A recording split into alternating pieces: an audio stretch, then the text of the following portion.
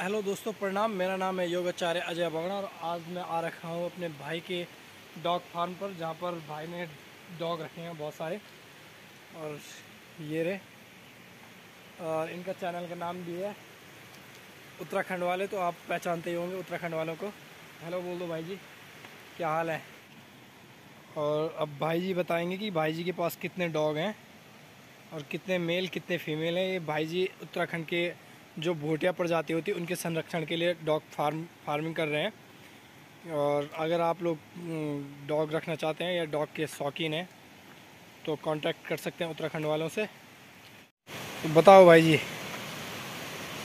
चल तो मेरे सभी दोस्तों को मेरा हेलो प्रणाम, और, मेरे पास जो अभी हैं, दो मेल है, और दो फीमेल है। बाकी जो मैंने डॉग हैं किसी और जगह रखे हुए क्योंकि अभी कोई लड़का नहीं है काम करने के लिए यहाँ पे।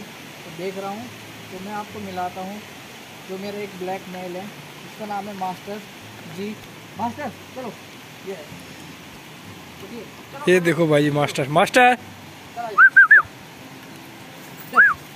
ये है मास्टर ये है मेरा डॉग मोटिया डॉग मास्टर, जिसका नाम है ब्लैक कलर का ये। ये जो है, डेढ़ साल का हो चुका है। और ये है डेजी। रिलेटिव डेजी, और इसका नाम है किया। वाइट वाली जो है। बाकी दूसरा जो डॉग है, जो नया मैंने लिया है, वो अभी अंदर है, वो भी दिखाएँगे आपको। बाकी अभी मैं इनको खाना दे रहा हूँ।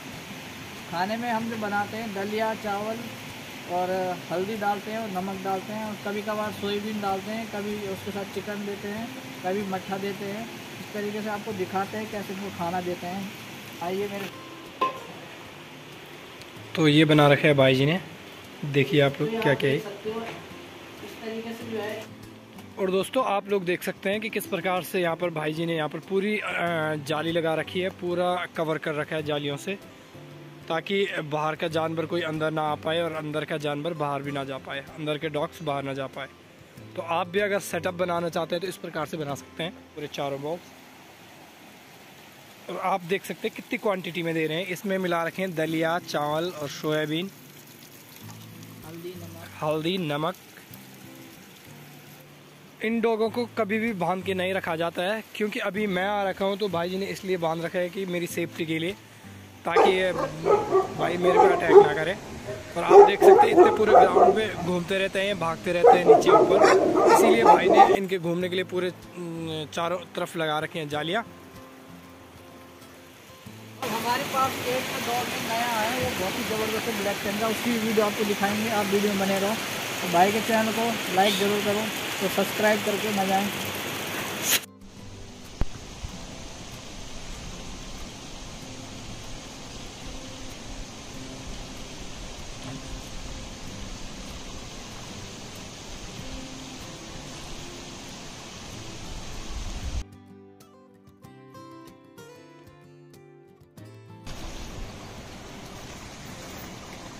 तो गाय इसे नहला के लाए अभी और ये खुद को सुखाने की कोशिश कर रहा है। इंजॉय ले रहा है फुल ये।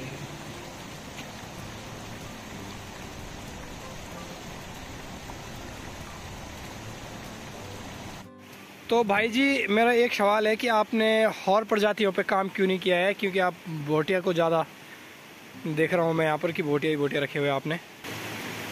भोटिया जो है, हमारी जो है लोकल डॉग ब्रीड है।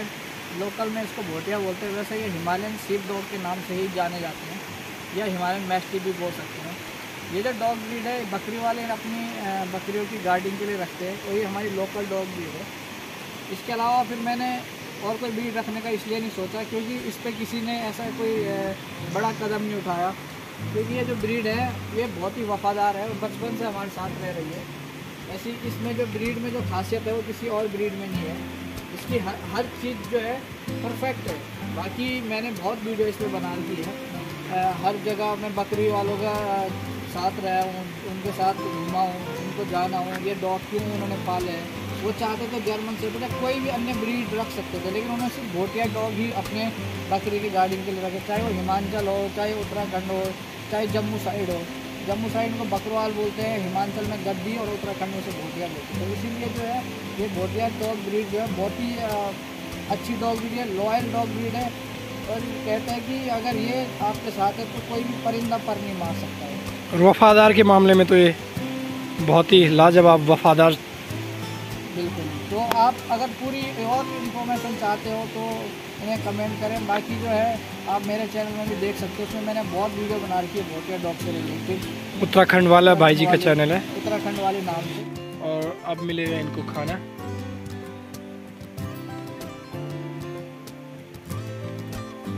आप लोग देख सकते हैं किस प्रकार इंतज़ार कर रहे हैं अपने भोजन के लिए। एक ने खा लिया है एक को मिल चुका है। ये हमारे संस्कारी कुत्ते हैं किसी के डोंगे में नहीं जाते हैं। आप देख सकते हैं, इन्हें इंतज़ार है बिल्कुल कि मेरा, मेरे पास ही आएगा।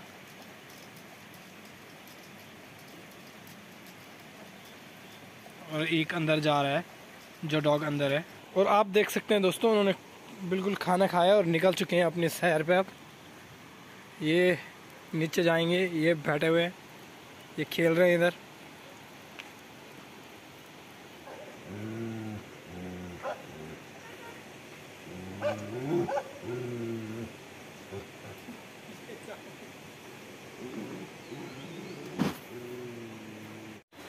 और नदी की हल्की हल्की आवाज़, सुरीली आवाज़ मिलते हैं आपके कल के ब्लॉग में।